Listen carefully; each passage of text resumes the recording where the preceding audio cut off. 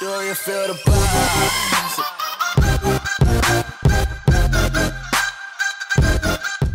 Всем привет, дорогие друзья, с вами Офинерс, добро пожаловать на канал, рад вас всех видеть. И вот долгожданное видео по клубам. Как вы знаете, вышел новый сезон, да, стартовал 7 декабря в 12 часов по московскому времени. Правда, я записываю видео чуть-чуть с опозданием, но ничего страшного. А, давайте же сейчас поговорим, собственно, какие изменения нас ждут в новом сезоне и чем мы будем в нем заниматься. Первое изменение это поиск клуба. Теперь все желающие смогут э, присоединяться к клубам и искать их прямо с, со страницы программы, да, то есть прямо с сайта можно спокойно присоединиться к клубу, я уже сегодня попробовал, без проблем присоединился, все отлично работает. А, второе изменение это свобода выбора. Теперь участники клубов смогут легко менять клубы на протяжении каждого этапа. То есть если вас вдруг не устроил какой-то клуб, либо, либо если вы играли за один клуб, потом решили перейти, например, в мой клуб, то вы сможете это сделать даже не обязательно с самого начала, да, а даже в середине сезона. Это хорошее изменение, э, очень удобно. А, третье изменение это синхронизация с клиентом. А, добавилась э, синхронизация клубов с клиентом, и теперь если участник выйдет из клуба во время игры, то будет автоматически исключен из этого этапа. А, четвертое изменение коснулось Арама. Теперь награды будут э, и выдаваться из режима Арам. То есть не обязательно играть уже в ущелье призывателя, можно и в Араме зарабатывать э, призы, но самое главное, нужно знать, что в Араме будет немножко сокращена добыча, да, то есть мы будем получать чуть меньше. А, чем а, в ущелье призывателя или проклятом лесу. А, ну и пятое изменение, последнее коснулось рейтингового этапа. Теперь даже в маленькие клубы будут иметь шанс занять первое место в этапе. Так что мы сможем постараться забрать первое место. На самом деле, надеюсь, у нас не будет маленький клуб. По поводу клуба и набор в него ребят я скажу вот чуть позже. Сейчас, секундочку, дойдем все это изменение. И как раз таки расскажу, кого, как, что мы будем набирать.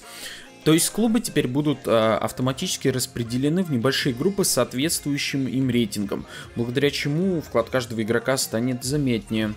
Э, ну и э, в дополнение здесь есть тоже бонусы верности, то есть те игроки, которые участвовали а, в любом из двух предыдущих этапов клубов, смогут а, получить э, бонусный сундук.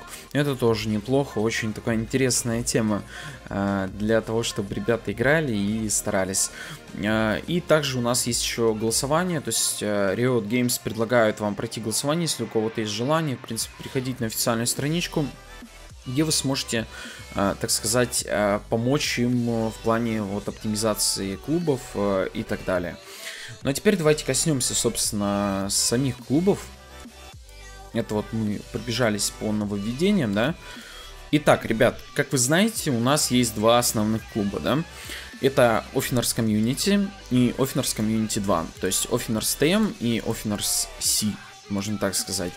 А, Офина, дело в том, что до этого я клубами как таковыми не занимался. Но вот сейчас стартанул новый сезон, и есть желание попытаться чего-нибудь там достичь, да, а, именно хочется, чтобы наша комьюнити развивалась, и попутно не просто, как мы вот на стриме с вами общаемся, например, а еще и развивалась в игре, то есть вы знакомились, дружили, пытались вместе поднимать э, клубы вверх, то есть там общались, играли, в общем, классно проводили время, дружили, и у нас сформировалась отличная компания и атмосфера. Так вот, у нас есть два клуба, да. Я на текущий момент всех исключил, поэтому мне уже многие написали, говорят, что с клубами, куда ты всех исключаешь. На самом деле я просто почистил клубы для... Ли, uh, все равно стартует новый сезон, мы сейчас будем набирать всех с нуля, и это будет своеобразная оптимизация. Это гораздо проще будет набирать э, ребят, понять, кто будет играть, кто не будет играть. И с этого момента мы будем действовать следующим образом. Дело в том, что Э, я сам, да, у меня не особо сейчас много времени и вряд ли смогу по полной заниматься клубами. Поэтому я на, буду набирать э, около трех возможно, пяти человек офицеров, да, то есть это будут ребята, которые будут ответственные за клуб, да, с которыми я буду общаться напрямую и решать какие-либо вопросы, связанные с клубом.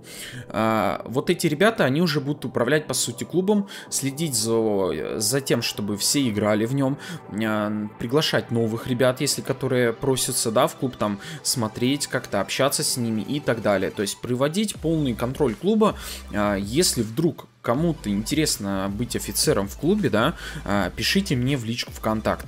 Я буду выбирать э, как раз-таки вот этих офицеров, кто подходит, там, задам вам несколько вопросов. И самое лучшее, собственно, у кого есть, опять же, желание, да, смогут стать офицером и, грубо говоря, а, быть моей правой рукой в этом клубе. Это очень удобно и мне, и вам, возможно, захочется а, быть э, полноценным руководителем, что ли.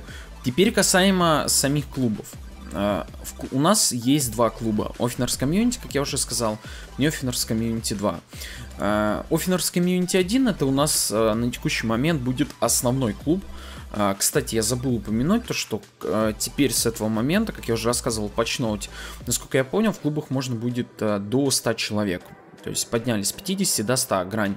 И так вот, э, можно будет э, сюда добавить 100 человек. Ну, получается, два. Один мой аккаунт, второй смурф аккаунт, э, который будет офицером.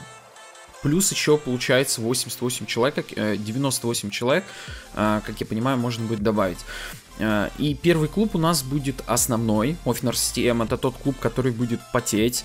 Это тот клуб, который будет играть. Понятное дело, я не заставляю вас играть до фанатизма, но э, те, кто хочет именно развивать, попытаться запотеть на клубы, поднимать их, э, там, да, ежедневно как-то работать с, ребятами из клуба, э, прошу всех сюда, рад вас всех видеть здесь буду, да, и с нетерпением приму. Вот, это то есть клуб основной, который именно будет пытаться подниматься, который будет постоянно играть, а, которым вот это все интересно и так далее. То есть Офинерс 1 или Офинерс Теймот у нас станет именно боевой клуб.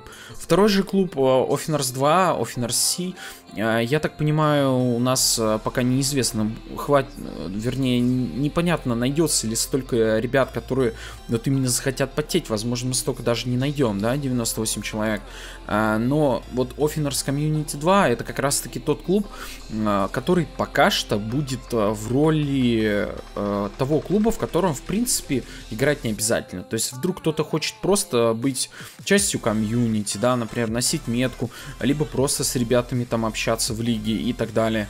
Это тот клуб, которому как таковых-то требований особых не будет, в отличие от Офинерс Community 1, да.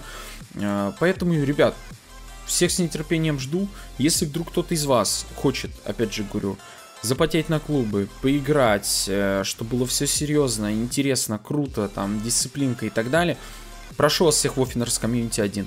Если кто-то хочет в Офинерс Комьюнити 2, то есть просто общение, там, свобода времени, не обязательно играть и так далее, там, метку, например, иметь, то всех прошу в Офинерс Комьюнити 2. А, также еще раз напоминаю, ребят, кто хочет быть офицером, пишите в контакт, в личку. И те, кто хочет э, попасть в клуб, тоже пока что пишите мне, но в будущем я на стримах скажу, э, кому из офицеров уже можно будет писать э, по приему в клуб. В клуб.